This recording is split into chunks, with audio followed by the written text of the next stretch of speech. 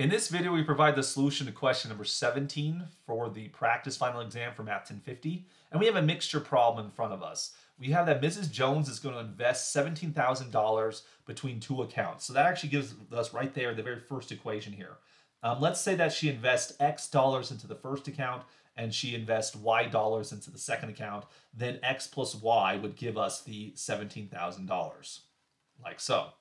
Uh, so we know that this total combination of the mixture, but then the mixture will typically have some weight to it, right? So the first account, it, it accrues 5% interest per year, and then the other one, the other account has an APR of 6.5%. So just looking at that so far, we'll say that the first the first account it, it collects 5% interest, the second one collects um, 6.5 interest. So 5% of X gives us the interest from the amount we invested into the first account for the first year. And then the 6.5% of Y gives us the interest that we collected in dollars uh, from the second account, right? The total interest for the first year was $970. Um, so we end up with this. This is then our system of linear equations. Two equations, two unknowns, we can solve this. We can do it by substitution, elimination, we can use matrices. There's a lot of options here. The first thing I want to do is actually clean up some numbers, right? If I move this decimal place over by 3, I can do that to everywhere. So it's basically going to times me by a 1,000. Um, so what that does is give me a new second equation. x plus y equals 17,000. Didn't do anything there. And the second equation, we'll end up with 50x plus 65y is equal to, well, again, we're adding three zeros glue those zeros at the end. So we end up with 50x plus 65y equals 970,000. Uh, so we just times the second equation by 1,000. But then after doing that, getting rid of the decimals, I noticed that everything's divisible by 5. Um, I could divide 50 by 5, I could divide 65 by 5, and then of course that's also divisible by 5. Um, in which case, if we simplify the numbers, because that just makes it for cleaner arithmetic later on, we didn't do anything to the first equation. 5 goes into 50 10 times, so we get a 10x. Um, we then 5 goes into 65 13 times, so we get 13y. And then 5 goes into 970,000. Uh, that happens 194,000 times. All right, feel free to use a calculator to help you in said calculations. So now we have to decide how we want to solve this. Mixture problems work very well. Um, you could do elimination, uh, for which we could times everything in the first equation by negative 10. That's really nice because multiplication by 10 is super, super easy.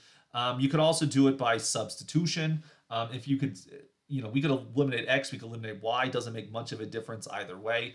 Um, we could substitute, right? We could solve for x, we could solve for y. Mixture problems have a very nice, uh, they're very nice in that regard, right? So what I'm going to actually do is I'm going to do it by my first strategy. I want to do this by um, elimination.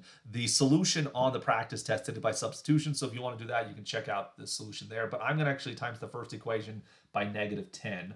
Uh, so what that does for us is we get negative 10x minus 10y is equal to negative 170,000, right? Multiplication by 10 is pretty easy. Um, then in the second equation, we have 10x uh, plus 13y is equal to 194,000.